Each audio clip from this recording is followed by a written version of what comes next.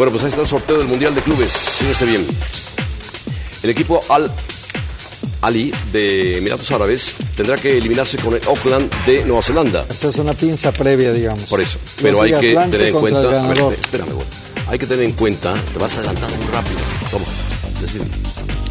Ahí está, mira en la pantalla dice. Venga. El Auckland de. Bueno, dilo tú mejor. Adelante, adelante. Para que gane estos equipos se enfrenta al Atlante. Yo lo único que te quería decir es que Sí. el Al Ali juega en su casa, en Emiratos Árabes. es el campeón de los claro. Emiratos. Cambia de Japón a Emiratos Árabes. Perfecto, no, eso ya lo sabíamos. Ya.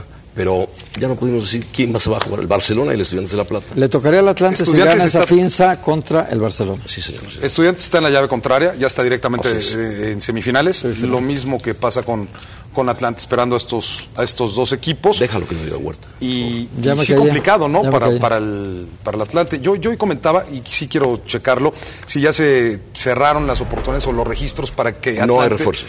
pudiera... No hay. Fíjate, José Ramos, si quedara fuera Pachuca No, no. o Chivas, No refuerzos. con la relación que, que hay entre la directiva de Pachuca y Creo, el Atlante, creo viene, entender, imagínate al Cacho espera, Jiménez espera, ahí. espera. Creo entender, ¿No? otra vez, creo entender que el reglamento impide que vayan con refuerzos. A petición de los clubes A importantes. petición de los clubes importantes. O sea, el Barcelona no le va a pedir a Cristiano Ronaldo al Real Madrid, ¿verdad? Para ir a jugar el Mundial de Clubes. Sí, ¿no? Bueno. Pero qué difícil, qué difícil para Atlante, porque si a América y a Pachuca les fue mal, hay que A Pachuca le fue mal, ¿no? Le metieron cuatro nada más. Y al América, ¿te acuerdas? El Barça. Al América. también. América metieron América cuatro. el Pachuca lo lo dejaron fuera antes. El que mejor lo hizo, que no tenía tanta importancia, estaba apenas surgiendo el torneo, Pero fue el estaba, Necaxa. Estaba surgiendo, estaba surgiendo. Fue el Necaxa. No le daba todavía validez la FIFA al torneo. Exactamente.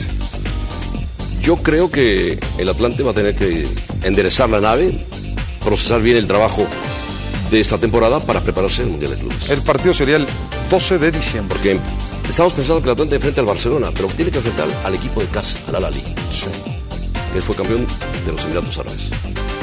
¿Cuál? Y ese juega en Abu Dhabi, en casa, Sí. Si es que gana su primera eliminatoria, ¿no? Contra con el Auckland de Nueva Zelanda, que seguramente la va a ganar, está en casa, enfrentará al Atlante. Si el Atlante gana ese partido, entonces sí, viene el Barcelona. Que le puede servir, le puede servir como vitrina a lo mejor al Atlante. Yo decía, imagínate Claro, a Vilar. sobre todo si le gana al Barcelona. Le puede servir de gran, gran vitrina. Lo mismo me dijeron. Claro. Pero bueno, tú imagínate a Vilar siendo exigido por el Barça en el partido Claro. y que saque tres o cuatro balones interesantes porque Vilar Cualquier tiene equipo muy buenas que condiciones al y es Barça muy buen portero. va a ser exigido, incluyendo hasta el Atlas, el señor Huerta. No podríamos pensar que Vilar, con una buena actuación, a lo mejor puede ser contratado por el Villarreal, por el Deportivo. Eso ya por- es decisión de Vilar. ¿También quiere ser promotor? Déjaselo No, a Bruno bueno, Marioni. Me gustaría, por supuesto. Deja- ah, ¿también te gustaría ser gu- promotor? Déjaselo me a Bruno gustaría, Marioni. Me gustaría, por lo que ha hecho Vilar en el fútbol mexicano, que pudiera crecer, por supuesto. Si vienen extranjeros de calidad. Está bien. El caso de Marioni, por ejemplo. Vilar creció en el fútbol mexicano, Claro. sí llegó como un desconocido. Vilar jugó en la primera A, Correcto, exactamente. entonces vale, creció. vale la pena. Estamos viendo nada más si Marioni fue campeón dos veces o una vez nada más. Recurriendo a la memoria, estamos dándole al switch. Bueno, equipos mexicanos en el Mundial de Clubes de la FIFA. 2000, Necaxa, tercer lugar. Todavía no estaba organizado por FIFA. 2005 no hubo. En 2006, el América, cuarto lugar, brillante, perdió 4-0 con el Barcelona. 2007, Pachuca, cuartos de final. Y después, 2008, Pachuca, cuarto lugar. El 2007, que por, por primera vez el Pachuca iba con mucho, mucha emoción y lucharon en la primera fase. Y después logró ganar un partido.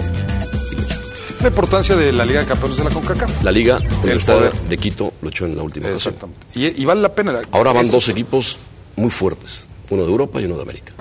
¿Estudiantes? Estudiantes ¿Te muy fuerte. Muy fuerte. Y, Y el Barcelona. caso de Barcelona. Es pequeño. Ahora, ¿te parece más, más No, difícil. Estudiantes que algún Es brasileño? pequeño el Barcelona, ¿no? Yo lo estoy escuchando, está muy No, interesante. es pequeño el Barcelona. Es, un- es el mejor equipo del mundo. viste. El Mundial de Hombre, Clubes que vaya un equipo. Es el mejor equipo del mundo Que ha este ganado momento. todo. El mejor equipo del mundo. Bueno, no sé qué, qué opina Huerta. ¿Es el mejor? Es el mejor del mundo. Qué bueno que Huerta ha dicho eso. Porque igual me hubiera dicho el Manchester United, porque Ferguson, porque. ¿Ya sabes quién es el líder de la liga inglesa? Sí, el Chelsea.